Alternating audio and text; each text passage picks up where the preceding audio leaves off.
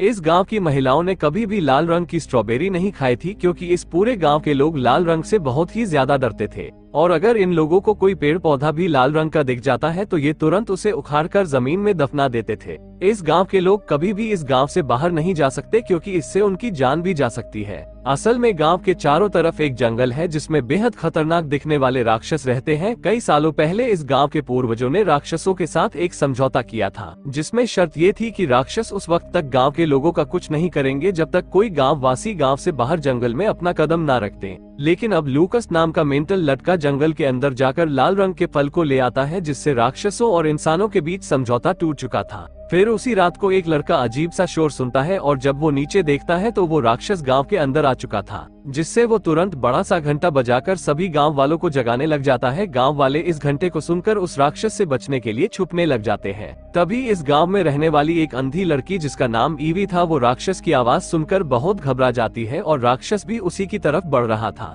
अब आगे इस मूवी में क्या क्या होता है चलिए जानते हैं। तो मूवी की शुरुआत उन्नीसवी सदी से होती है, जहाँ पर हमें एक गाँव को दिखाया जाता है, जिसका नाम पेंसिल्वेनिया है। हालाँकि इस गाँव में हर तरह की खुशहाली है, लेकिन इस गाँव से कभी कोई बाहर नहीं जा सकता। इस गाँव के चारों तरफ़ बड़ी बड़ी दीवारें हैं। साथ ही यहाँ पर एक वॉच टावर भी है जहाँ पर हमेशा कोई न कोई पहरा देता रहता है। असल में ये गाँव जंगल के बिल्कुल बीच था, इसलिए इन गाँव वालों का दूसरे किसी भी गाँव से कोई भी ताल्लुक नहीं होता है। और जो लोग इस गाँव के अंदर रहते हैं, वो कभी भी बाहर नहीं जाते हैं और यहाँ पर किसी तरह के कोई पैसे नहीं चलते हैं, यहाँ सब एक दूसरे की इज़्ज़त करते हैं और साथ ही यहाँ पर कोई किसी से भी शादी कर सकता है। लेकिन शादी का एक रूल होता है कि कोई भी किसी को पसंद करता है तो वो कभी उसका हाथ नहीं पकड़ता जब तक कि उसकी शादी नहीं हो जाती थी। और यहाँ पर जो भी सीनियर लोग रहते हैं, उन्हें एल्डर्स कहा जाता है। उन्हीं एल्डर्स में से एक एल्डर की बेटी की किसी बीमारी की वजह से मौत हो जाती है। असल में इस गाँव में किसी भी तरह की अच्छी मेडिकल फैसिलिटी नहीं है, इसलिए यहाँ पर किसी भी तरह की बीमारी का इलाज करना पूरी तरह नामुमकिन है।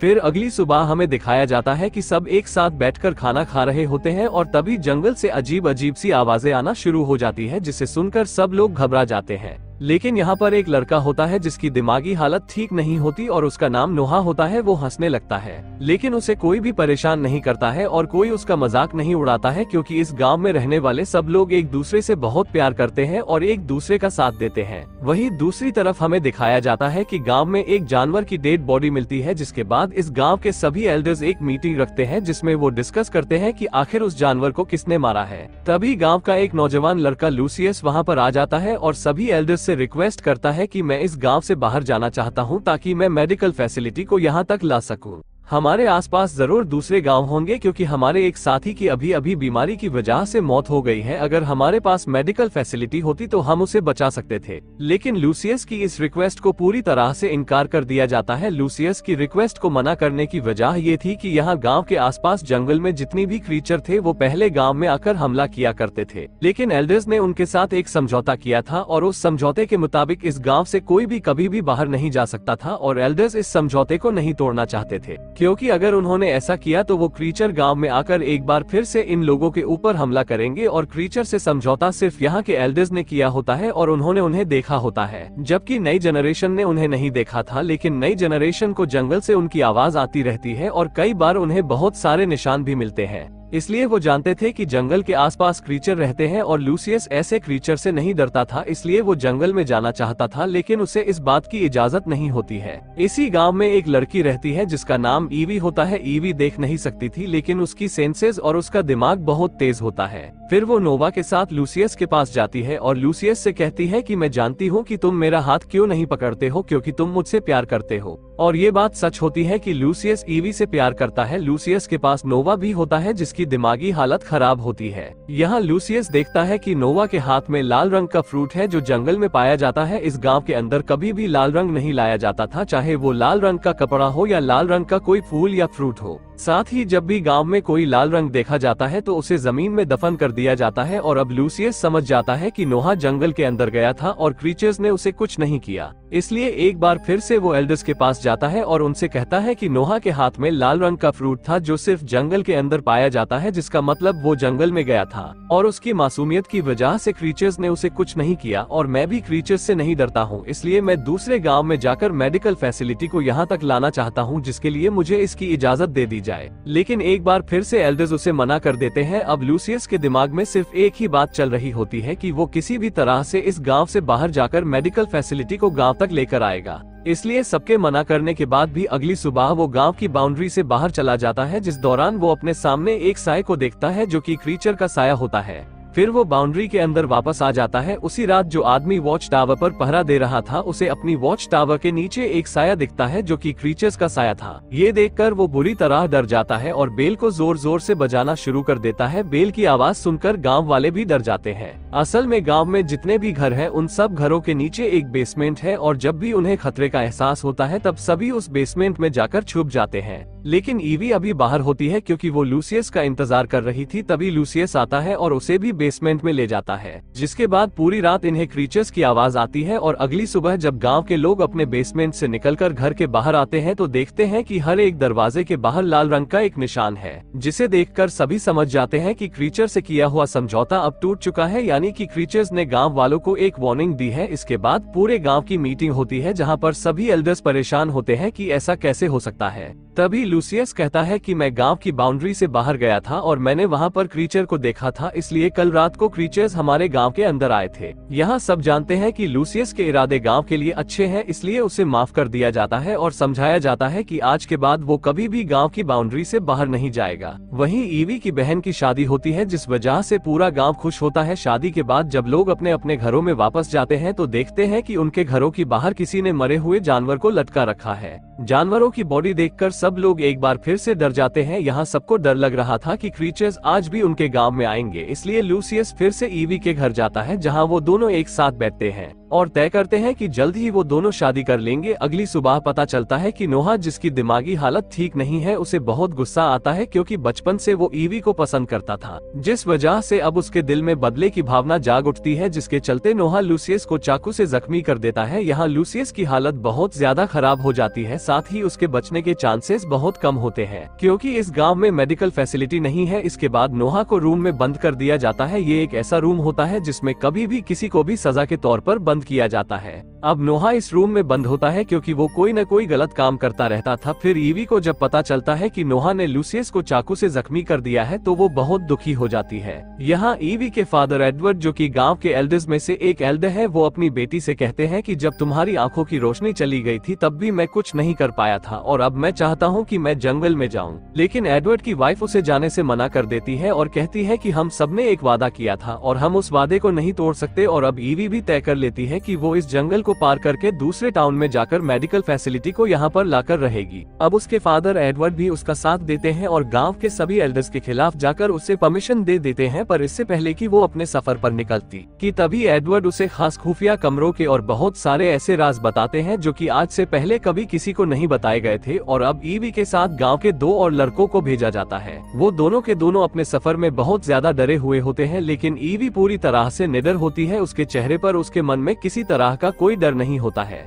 असल में जब उसके फादर एडवर्ड उसे खुफिया कमरे में ले गए थे तो उन्होंने उसे इस गाँव का राज बताया था। उन्होंने कहा था कि यहाँ पर कोई भी क्रीचर्स नहीं है। असल में गाँव में जितने भी क्रीचर्स को देखा गया था, वो एल्डर्स में से कुछ लोग होते हैं जो कि क्रीचर की तरह कॉस्ट्यूम पहनकर जंगलों में जाते हैं और ऐसा वो इसलिए करते हैं ताकि कोई भी इस गाँव से कभी भी बाहर न जा सके। अब ईवी को सच पता था, इसलिए उसके मन में किसी तरह का कोई भी डर नहीं होता है। उसके साथ जो दो लड़के होते हैं, वो बहुत ज़्यादा डर जाते हैं, क्योंकि जंगल से क्रीचर्स की आवाज़ आ रही होती है, इसलिए वो वापस गाँव की तरफ़ लौट जाते हैं। लेकिन ईवी ऐसा नहीं करती, क्योंकि उसके फादर एडवर्ड ने उसे बताया था कि जंगल से जो भी आवाज़ें आती है, वो एल्डर्स द्वारा पेड़ों पर लगाए गए डिवाइस से आती है, जो कि हवा चलने पर आवाज़ करते हैं। वहीं दूसरी तरफ़ हमें गाँव में दिखाया जाता है, जहाँ पर सभी एल्डर्स एडवर्ड से नाराज़ होते हैं, क्योंकि उसने अपनी बेटी को जंगल में भेज दिया था। वो सब कहते हैं कि हमने इतने सालों से मेहनत की थी और हमने एक सुरक्षित जगह बनाई थी, लेकिन अब ये रास्ता और हमारा राज जल्दी ही पूरी दुनिया के सामने आ जाएगा। जिस पर एडवर्ड कहता है कि ऐसा कुछ भी नहीं होगा, मैंने मेरी बेटी ईवी को सब कुछ समझा दिया है। वहीं हमें ईवी को दिखाया जाता है, जो कि जंगल में आगे बढ़ रही होती है। तभी वो बहुत बड़े गड्ढे में गिर जाती है, पर किसी तरह वो उस गड्ढे से बाहर आ जाती है, जिस दौरान उसे क्रीचर्स की आवाज़ आना शुरू हो जाती है। हालाँकि उसके फादर ने बताया था कि जंगल में कोई भी क्रीचर्स नहीं है, लेकिन गाँव की ऐसी और भी कहानियाँ थी जिसके अनुसार बहुत पहले क्रीचर्स होते थे और वो इंसान की नकल किया करते थे।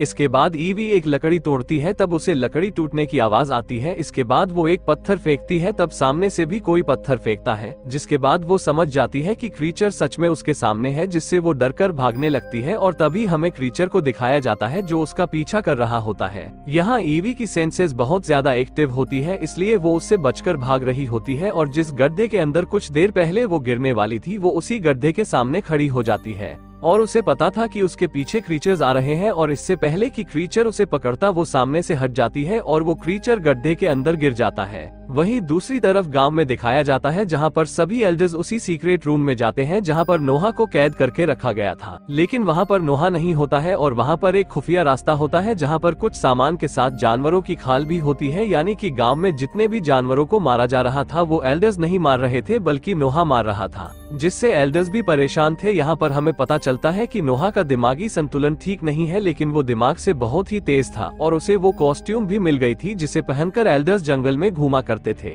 यानी कि उसके पास वैसा ही कॉस्ट्यूम था जिसे पहनकर वो भी जंगल में एल्डर्स की तरह घूमता था। इस सबसे पता चलता है की उसे एल्डर्स का राज पता चल गया था, इसलिए वो कभी भी किसी भी वक्त जंगल में चला जाता था। असल में जिस तरह से सभी एल्डर्स यहाँ पर रहने वालों के दिमाग से खेल रहे थे, उसी तरह नोहा भी उन सभी एल्डर्स के दिमाग से खेल रहा था, लेकिन वो ईवी से प्यार करता था। इसलिए जब उसे पता चलता है कि लूसियस ईवी से शादी करने वाला है तो वो अपना आपा खो बैठता है और वो उसे मारने की कोशिश करता है, जिस वजह से लूसियस बहुत बुरी तरह से जख्मी हो जाता है। अब जंगल में जो क्रीचर ईवी के पीछे था, जो गड्ढे में गिर गया था, वो कोई और नहीं, बल्कि नोहा होता है, जो की अब मर चुका था। यहाँ ईवी अपने सफ़र पर आगे बढ़ जाती है। उसके फादर एडवर्ड ने उसे जो खुफिया रास्ता बताया था, अब ईवी उसी रास्ते पर चलते हुए एक ऊँची दीवार को पार करती है, जहाँ पर हम एक सड़क देखते हैं। तभी वहाँ एक गाड़ी आती है जिससे एक पुलिस वाला नीचे उतरता है। अब यहाँ पर हमें पता चलता है कि ये नाइनटीन सेंचुरी नहीं, बल्कि ट्वेंटी सेंचुरी है, यानी कि ये हमारा वक्त था। अब पुलिस वाला ईवी को देखकर हैरान होता है क्योंकि दीवार के दूसरी तरफ़ जो एरिया है, उसे अनिमल सेंचुरी कहा जाता है, जहाँ पर कभी कोई नहीं जाता था। और न ही उसके ऊपर कभी कोई प्लेन उड़ता था, क्योंकि ये प्लेन का रूट नहीं होता है, इसलिए गाँव वालों को कभी पता नहीं चला कि वो वक्त से बहुत पीछे जी रहे हैं।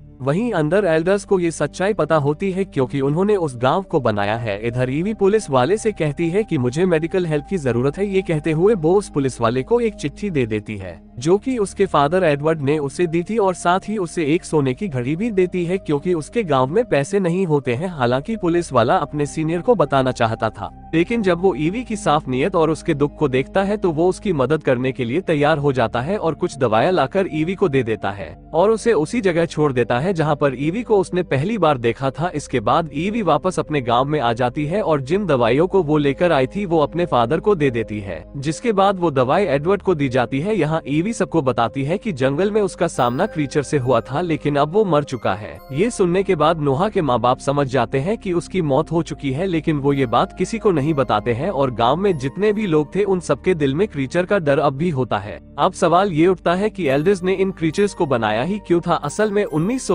में जब एडवर्ड एक प्रोफेसर था, तब वो उन लोगों की काउंसलिंग किया करते थे जो बहुत ज़्यादा दुख में थे। और उन सबके दुख की वजह ये दुनिया थी और इस दुनिया में बढ़ते क्राइम के चलते उन सबने अपने अपनों को खोया था। इसलिए प्रोफेसर ने उन सबके साथ मिलकर एक प्लान बनाया, जिसमें उन्होंने एक ऐसे गाँव को बनाया जिसके बाहर ना ही कोई जा सकता था और ना ही बाहर से कोई इंसान यहाँ पर आ सकता था। असल में ईवी के फादर प्रोफेसर एडवर्ड बहुत ज़्यादा अमीर थे और उनके पास उनके खानदान का बहुत पैसा था और उन्होंने अपने खानदानी पैसे से इस पूरी जगह को खरीद लिया था, जिसके बिल्कुल बीच उन्होंने इस गाँव को बनाया था। साथ ही वो पुलिस को फंडिंग भी दिया करते थे ताकि कोई भी दीवार से इस तरफ़ आने की कोशिश न करे, इसलिए पुलिस दीवार के चारों तरफ़ वाली सड़क पर घूमा करती थी ताकि दीवार के दूसरी तरफ़ कोई भी न जा सके। साथ ही एडवर्ड गवर्नमेंट को फंडिंग भी दिया करते थे ताकि कोई भी प्लेन उस जगह के ऊपर से न उड़े और वहीं ईवी भी ये गवाही देती है कि उसने जंगल में एक मॉन्स्टर को मारा है। जिससे एक बार फिर से सबके दिलों में डर बैठ जाता है, यानी कि इनका राज अभी भी राज ही रहेगा और गाँव में जितने भी लोग हैं, उन सबको एक पुराने तौर तरीकों वाली, यानी कि 200 साल पुरानी ज़िंदगी को जीना होगा। ये सब बच्चे जब यहाँ पर आए थे, तब वो बहुत छोटे थे और अब सब बड़े हो चुके थे, इसलिए इन्हें कुछ भी याद नहीं होता है। और दोस्तों, इसी के साथ ये मूवी यहीं पर खत्म हो जाती है।